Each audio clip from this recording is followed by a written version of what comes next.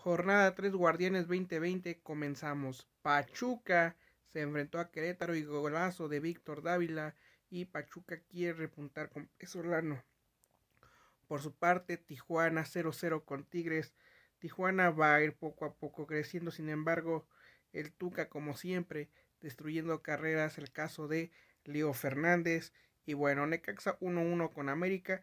El América dejó mucho que desear, sin embargo, Necaxa empieza a sumar. Ahora bien, Mazatlán 2-1 Toluca, la defensa simplemente del Toluca es un asco. Hay que decir que Aristeguieta lo poco que jugó le alcanzó para el triunfo de este equipo que busca pues arrebatar y ganando obviamente y lo hizo con Toluca. Pero hay que destacar que el arbitraje nuevamente afecta a los Diablos Rojos del Toluca, pero bueno, gran debut de Joao Plata. Ahora bien, Cruz Azul 2-0, sí, 2-0 a, León. León está pagando poco a poco de lo que estaba haciendo en los últimos años. Vamos a ver qué pasa.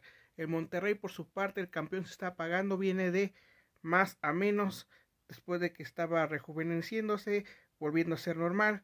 Sin embargo, con Santos le costó.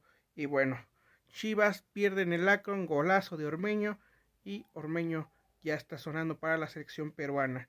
Y obviamente Chivas se queda sin técnico. Bucetich y Almeida son los favoritos para llegar a Verde Valle.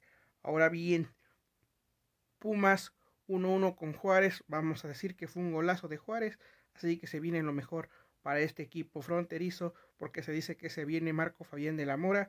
Y Atlético San Luis 1-1 con el Atlas. El Atlético también viene un poco mal. Sin embargo, poco a poco se tiene que componer el camino y el Atlas se llega a empatar. Mañana nos vemos en vivo y suscríbanse a este canal. Bye.